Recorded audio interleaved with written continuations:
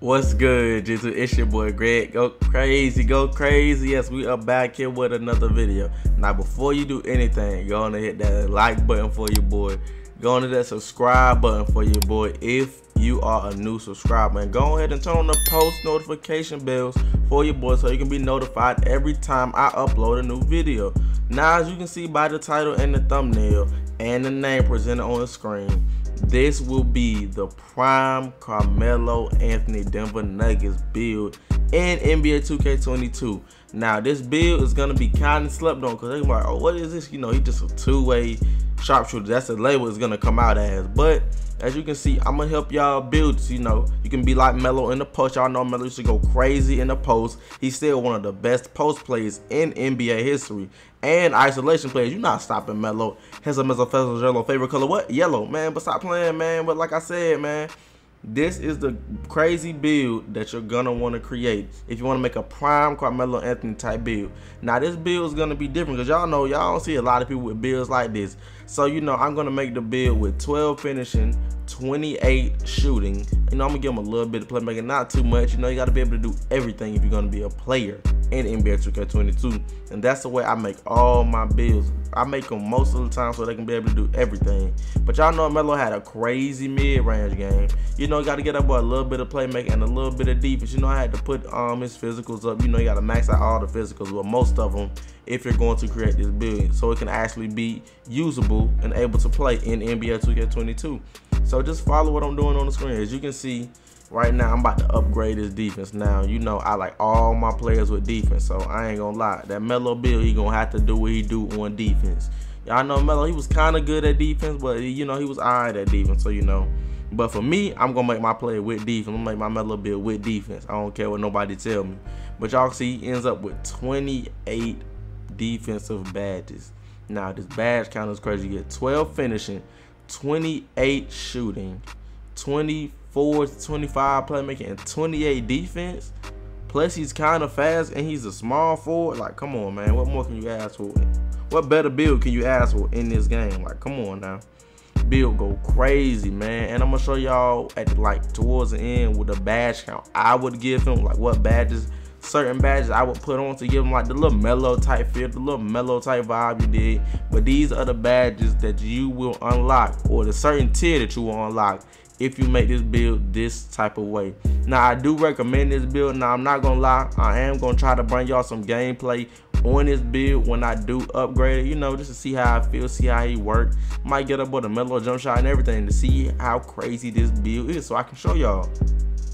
But yeah, man, y'all see this build gets gold bullet, gold. Uh, you see, get I mean gold shot creator, and he also gets gold hyperdrive and everything else go, And y'all see, get that Hall of Fame interceptor and that gold intimidator. Gold intimidator. That badge is very useful in this. game. he gets silver rebound chaser and silver rim protector. Come on now. What more you need, man? He's six seven. They can do it all. Come on, with the defense and the off ball and everything you need, man.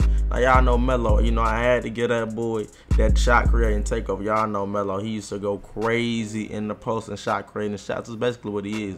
If I could have got the post takeover, I would have gave him post takeover too.